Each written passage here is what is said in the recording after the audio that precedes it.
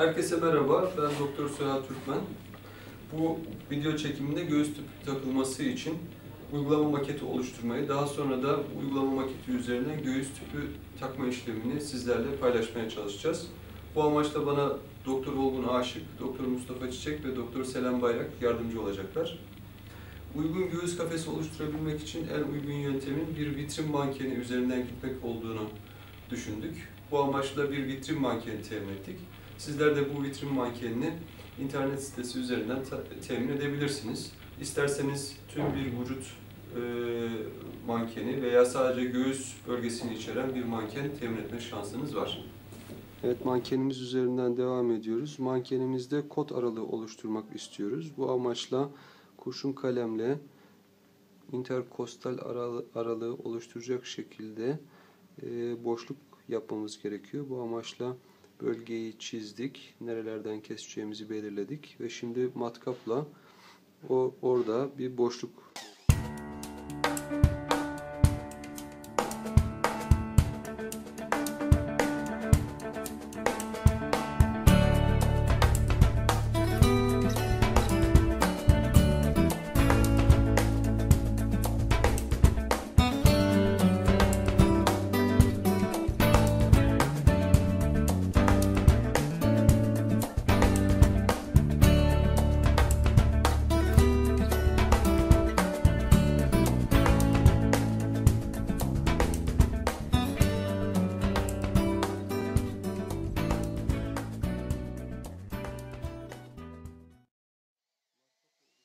Kurduğumuz oyukları genişleterek gördüğünüz gibi kot aralıklarını oluşturduk.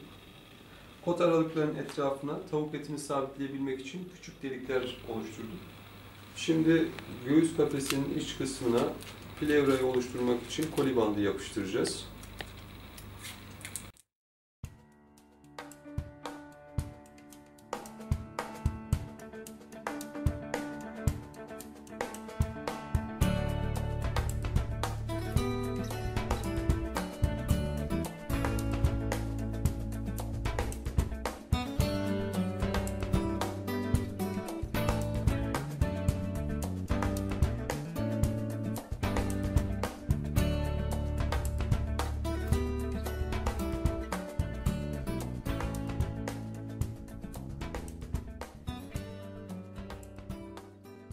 Daha önceden streç film arasına sıkıştırdığımız tavuk etini e, kot aralıklarının üzerine cilt ve cilt altı dokuyu e, temsil etmesi maksadıyla maketimizin üzerine yerleştiriyoruz. Ve bu tavuk etini daha önceden yine matkapla delmiş olduğumuz deliklerden vidalayarak sabitliyoruz. Cilt altı dokuyu temsilen yerleştirdiğimiz tavuk etin üzerine şimdi cildi temsilen tavuk derisinden hazırladığımız e, deriyi e, yine vidalarla o, tavuk etin üzerine sabitledik, gergin bir şekilde yerleştirdik. Artık maketimiz göğüs tüpü takma işlemi için hazır. Evet artık işleme başlayabiliriz. 4 veya 5. interkostal aralık ile ön aksiler çizimin birleştiği noktayı tespit ediyoruz. Göğüs tüpü takılacak bölgeyi vatifon ile temizliyoruz.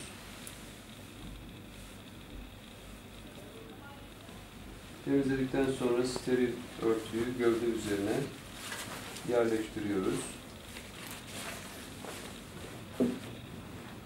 Şimdi işlemi uygulayacağımız bölgeye lokal anestezi yapacağız. Cilt cilt alt dokulara lokal anestezi uyguluyoruz.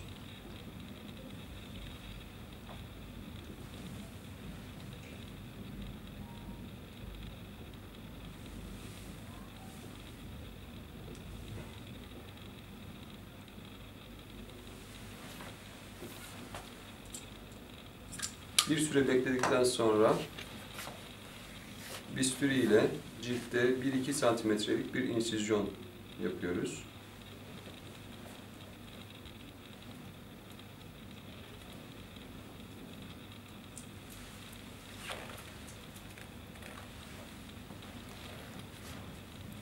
İnsizyonun içerisinden cilt ve cilt altı dokuları diseke edecek şekilde bir üst kod seviyesine doğru ilerliyoruz. cilt alt dokuları iyice disek ettikten sonra göğüs boşluğuna gireceğimiz sırada altta kalan kotun üzerinden plevrayı biraz daha fazla kuvvet uygulayarak göğüs boşluğuna girmeye çalışıyoruz.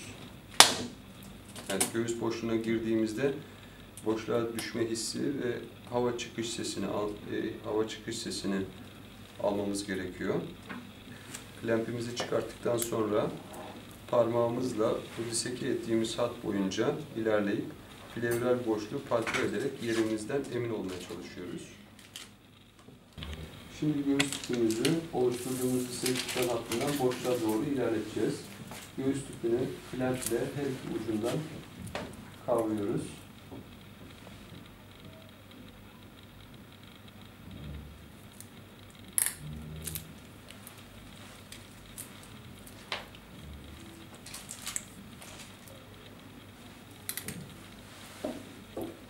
Oluşturduğumuz diseksiyon hattı boyunca tüpümüzü ilerletip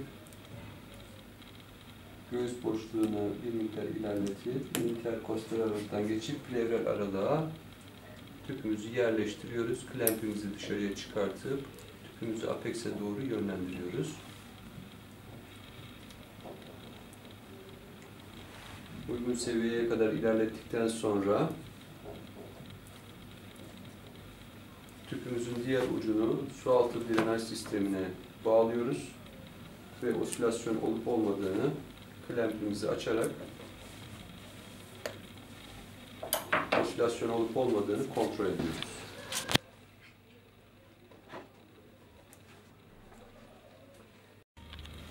Osilasyonu kontrol ettikten sonra tüpümüzün doğru yolda, e, doğru yerde olduğunu anlamış olduk ve şimdi tüpümüz bu seviyede cilt ve cilt altı dokulara sabitleyeceğiz. Bu amaçla ipek kullanabilirsiniz. Tüpün etrafında bir U dikişi atıp sıkı bir şekilde göğüs e, kafesine bu tüpü sabitlemeye çalışacağız.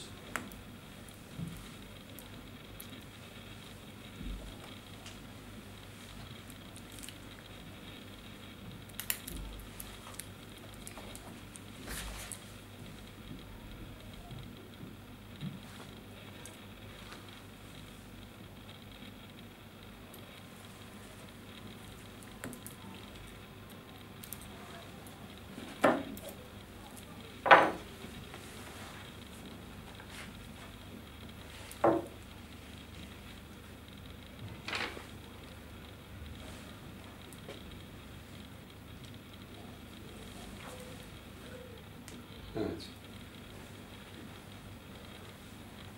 Kaç defa düğüm atarak iğnesini keselim.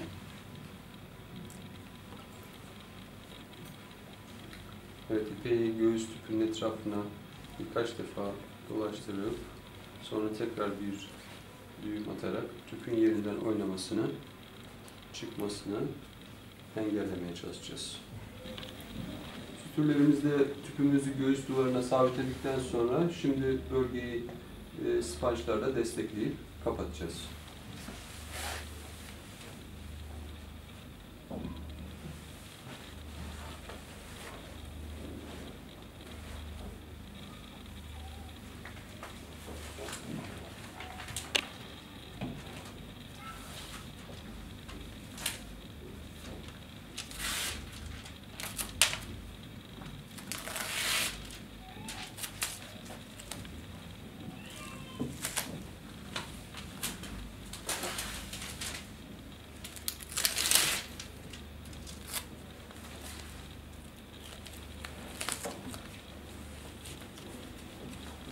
İşlemimiz burada sona ermiş oldu. Umarım yeterince yardımcı ve eğitici olabilmişizdir. Tekrar görüşebilmek dileğiyle sağlıcakla kalmanızı temenni ederiz.